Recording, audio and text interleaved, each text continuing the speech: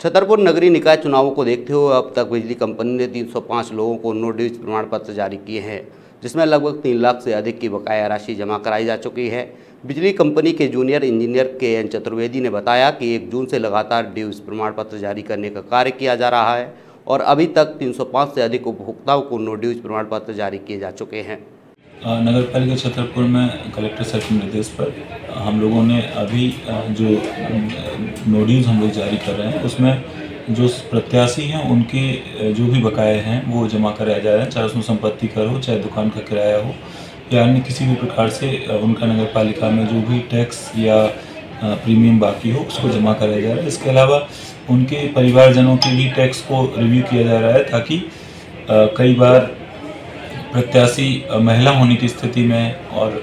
संपत्ति परिवार के किसी अन्य सदस्य के नाम होने की स्थिति में भी उनका टैक्स बाकी रहता है जिसको हम लोग पर्सनली मॉनिटर कर रहे हैं और टैक्स जमा कराया जा रहा है और काफ़ी अच्छी वसूली भी इस दौरान प्राप्त हो रही है। छतरपुर शहर वितरण के अंतर्गत पंच सरपंच और नगर पालिका ने कहा है कि पार्षदों की 305 नोटिस बनाई गई है। इनसे वितरण के शहर को तीन लाख सतहत्तर हज़ार रुपये जमा हुई है नोटिस बन गई है। ये कब से भाई साहब, कब तक बनाए जा रहे हैं? तो क्या इनमें लिया जा रहा है आवेदन पत्र शपथ? नोरूज प्रमाण पत्र एक जून से बनाए जा रहे हैं और ये अभी मतलब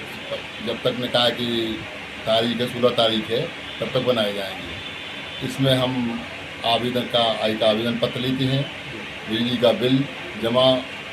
की रसीद और बिल लेते हैं।